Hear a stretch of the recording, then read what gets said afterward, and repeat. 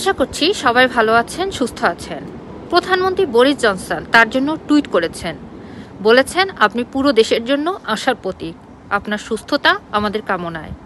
এই tweet sir Tom মুরের জন্য। করোনার শুরুতেই হাসপাতালের জন্য হেঁটে হেঁটে তেত্রিশ মিলিয়ন পাউন্ড তুলেছিলেন নিরানব্বই বছরের প্রবীণ এই আর্মি।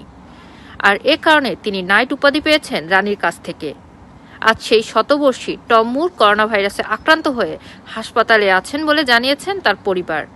শুধুমাত্র করোনাই নয় নিউমোনিয়াও আক্রান্ত হয়েছেন তিনি। নিউমোনিয়ায় ভোগার কারণে স্যার টম মুরকে করোনার টিকা দেওয়া সম্ভব হয়নি।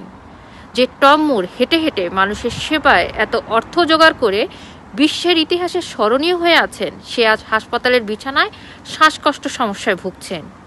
এই অসুস্থতার খবরে মূলধারার মিডিয়া থেকে শুরু করে সামাজিক যোগাযোগ মাধ্যমে সব জায়গায় শুধু সবার প্রার্থনা, তিনি যেন সুস্থ হয়ে ওঠেন।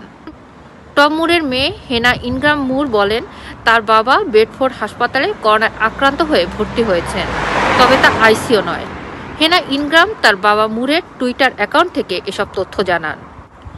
গত কয়েক সপ্তাহ ধরে টম মুর নিউমোনিয়ায় ভুগছিলেন, আর গত সপ্তাহে তিনি কোভিড উনিশ পজিটিভ হন।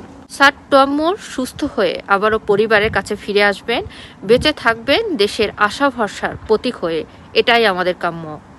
সবাই ভালো থাকবেন, সুস্থ থাকবেন।